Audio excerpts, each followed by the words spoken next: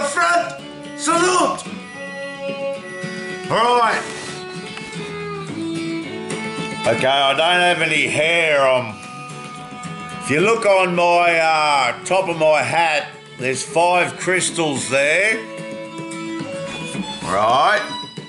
And if you look under my hat, there's a magnet and another three crystals. Now, you probably say, why is a veteran wearing crystals and magnets on his hat? It's so I can make a psychic antenna. Well, you say, is he nuts? Is he nuts? Nah, gonna, um, I've channeled a bit of stuff about opening the mind. Is he for real? Yeah, opening your mind. Um, yeah, like when you look at geometry or geometrical shapes, the brain, the eyes look at the shape, it goes into your brain, right? It opens up your brain. Now, this is like a new Bible for the children. Okay, I've I've psychically mediumed, channeled down what we got to do. You know, it's like, fuck, we've got to evolve the children. You know, so so I've worked out the shape and the colours and uh, what to do and yeah there's 72 photographs. Okay 72 photographs of a coloured shape that's a hologlyphic. Right? So what you do? All right this is the shape. A circle with a square in it and a triangle right now the triangle's yellow, the square's red, and the circle's blue.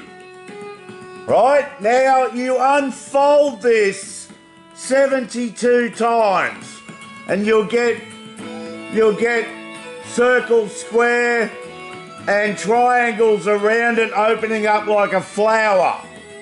Okay, they've got to be the same size as the original circular, circular circumference.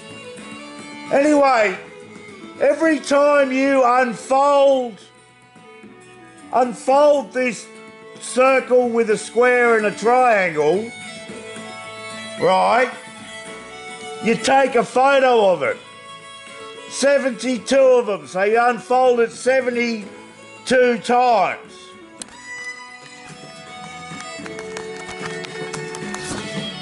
Then you upload onto a computer each 72 photographs and you make every seventh pixel pink.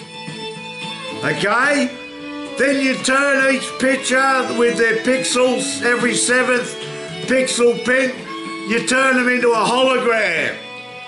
Then you make a book or a computer program called, what will we call it? We'll call it Solomon. Solomon's art. And uh, King Solomon's seals. That's it. So you make these 72 photos with the every seventh pixel pink of the unfolding flower, of the square, the circle and the triangle. The triangle being yellow, the square being red and the circle being blue. Okay, and you turn them into holograms. Now you get a four-year-old kid and you show him the first hologram, just of the circle, square, the square and the triangle. And then you let him go away for a week. Now his eyes have looked at that hologram it's gone into his brain backwards and unlocked a part of his mind. Now we only use 9% of our brain. Some are using 10. But uh, every time you unlock the child's mind, he gets, he uses more percent of his brain. It's like each photo's a key for a door. Now we live in Babylon, like the mind is a prison of Babylon. The Tower of Babel and all all the psychics that built them before they were told to go away and he stopped them from communicating with each other being psychic. But um yeah, so in the second week you get the next opened 72 photo, the second photo, show the four-year-old kid, his eyes read it, goes into his brain, unlocks a part of the cube.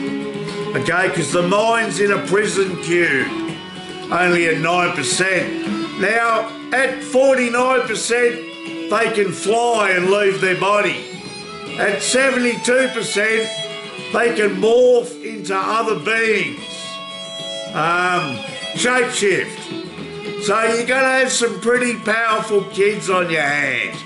You know, once you've shown them all 72 holograms, and uh, yeah, yeah, yeah. Like, I am undercover brother. Like, some would call me Jesus, some would call me a nutter, some would call me the crazy veteran.